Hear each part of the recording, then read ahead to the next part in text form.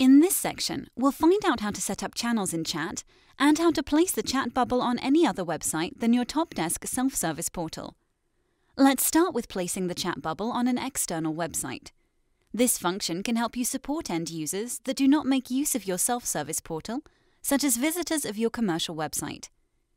To place the bubble on an external website, go to the chat interface. Click on Settings and enable Embed Chat in an external website. Here, you can find the HTML to insert into your website's code. You can also change the color of your chat bubble to match it to your website's design.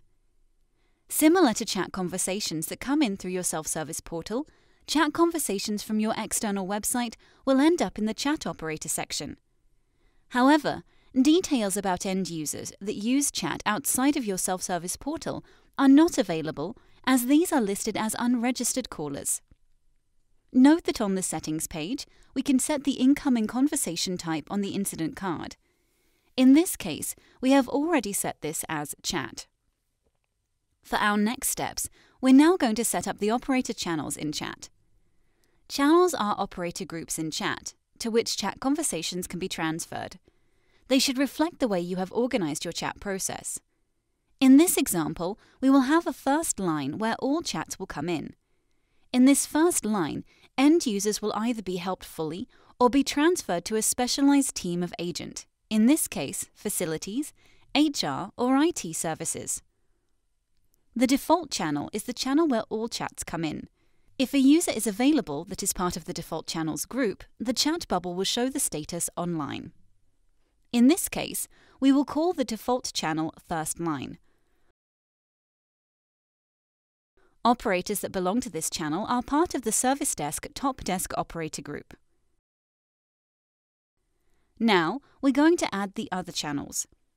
Note that settings are automatically saved on this page, so there is no need to press a Save button.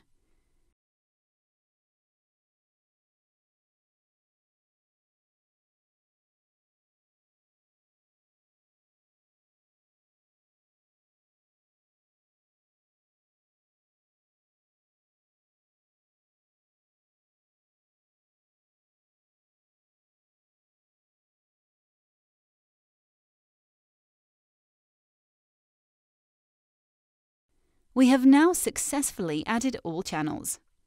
Don't want to work with channels yet? No problem. Just make sure you have a default channel with an assigned operator group. This will ensure that the chat bubble is available for end users whenever a default channel operator is available in chat. On the operator side, all chats that are relevant to the specific operator will be shown under that chat tab. These might consist of new incoming conversations or conversations that have been transferred to a channel that the operator is part of. They might consist of both if the operator is part of various operator groups. The label on the conversation will indicate to which channel the conversation belongs. Make sure to remember that operators from the default section need to be available in chat to have the chat bubble displayed on the SSP or external website. You now have successfully set up chat.